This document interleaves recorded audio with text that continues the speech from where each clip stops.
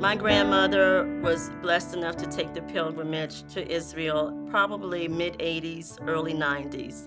And I remember thinking, I want to go to Israel one day just like my grandma. So I was fortunate enough to um, be introduced through the AIEF um, Foundation's trip to be able to go to Israel in April of 2015. Um, it was the opportunity of a lifetime. Everything she talked about in her notes, looking at her old pictures, um, it truly was full circle. You know, just feeling her presence um, was very, very emotional for me.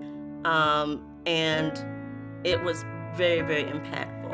After I got back from the trip, I just wanted to do more.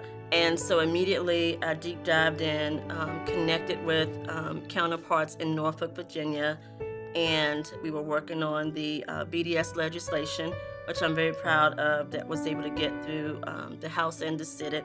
Our legislators do not know what, what is important to us if we don't communicate with them. We're all here to do something and live a purpose.